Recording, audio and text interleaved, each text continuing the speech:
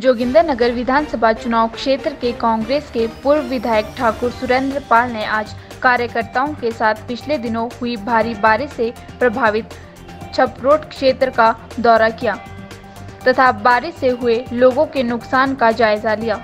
उन्होंने प्रशासन से क्षेत्र में बरसात से प्रभावित लोगों के हुए नुकसान का सही आकलन कर लोगों को शीघ्र राहत देने का आह्वान किया। आपका फैसला के लिए जोगिंदर नगर से कैलाश की रिपोर्ट।